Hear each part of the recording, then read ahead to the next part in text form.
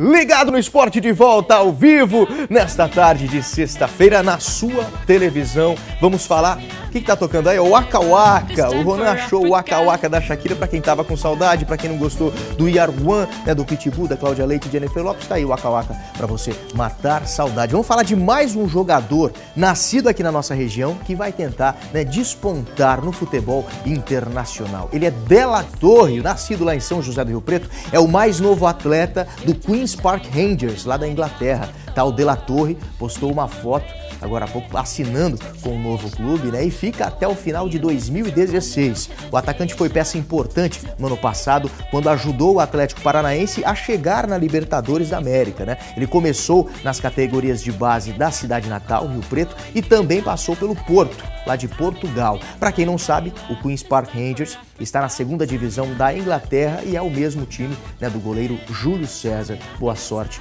o Della Torre. Vamos lá para a Itália agora, porque dois jogadores brasileiros viraram manchetes pelas atitudes dentro e fora de campo. Olha só.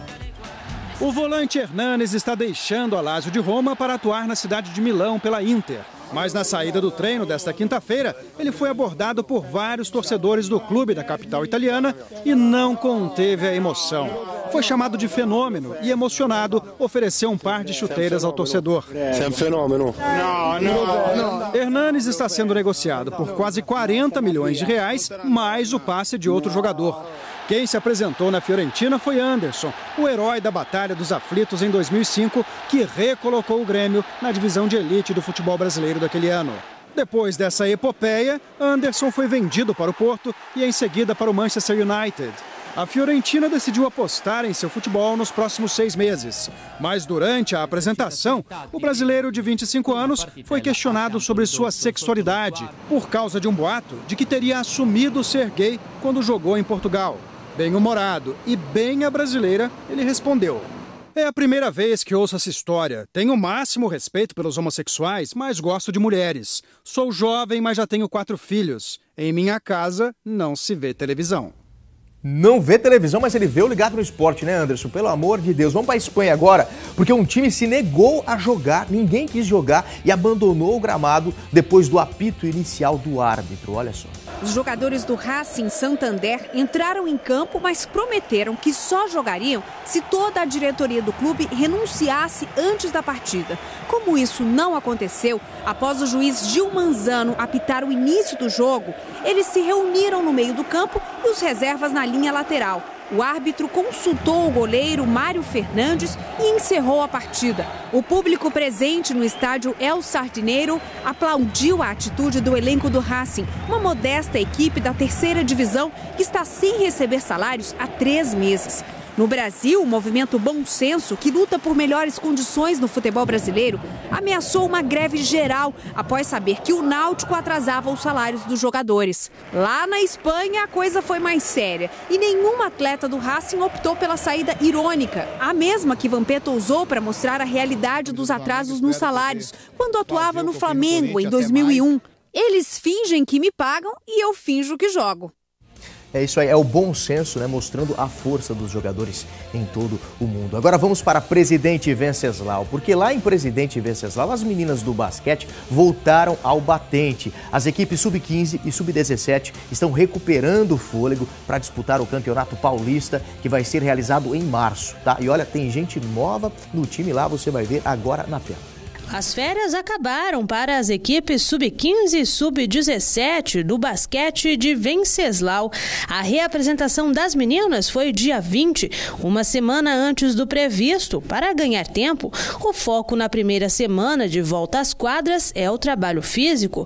Difícil enfrentar os exercícios depois do descanso. É difícil, mas a gente tem um campeonato pela frente e a gente tem que treinar cada vez mais, se esforçar para todo mundo ajudar o time gente está priorizando a parte física, né, para elas readquirirem resistência. E o trabalho com bola é mais fundamento, mais a parte técnica mesmo, sem muita correria. E temporada nova tem que ter gente nova na casa. Laís, Isabela, a Laís com Y, Maria Luísa, Nathalie e a Gabriele. E não tem essa de ser novata.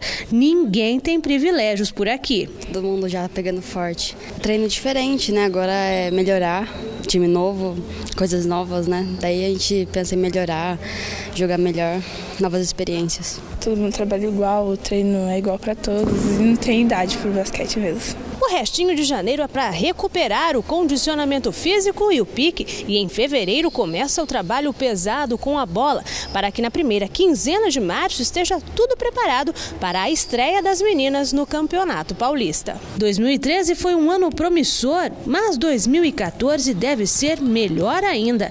E se depender das veteranas, o ano promete. Como a gente tem mais um pouco de treino, a gente está contribuindo com a técnica para o crescimento do time, para a gente conseguir chegar num campeonato bom, foi um campeonato bom esse ano. A gente está treinando para isso, para que seja melhor. Sempre tem que buscar ser melhor do que o ano passado.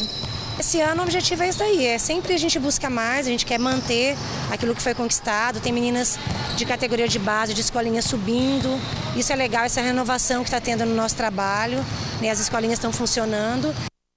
Estão funcionando e com certeza até a primeira quinzena de março essas meninas vão estar 100% com o fôlego completamente recuperado para a estreia no Campeonato Paulista. Araçatuba vai ter por mais um ano o programa Segundo Tempo a Secretaria de Esportes divulgou que a renovação do convênio foi aprovada. O programa possibilita várias atividades esportivas de graça. Mais informações agora com a repórter Michele Bacelar. É isso mesmo, Diogo. O programa não aconteceu no ano passado, mas o convênio foi renovado com o Ministério dos Esportes e poderá ser implantado ainda este ano. É sobre isso que eu falo com a Cláudia Crepaldi, que é secretária de Esportes aqui de Aracatuba. Cláudia, quais atividades esse programa desenvolve?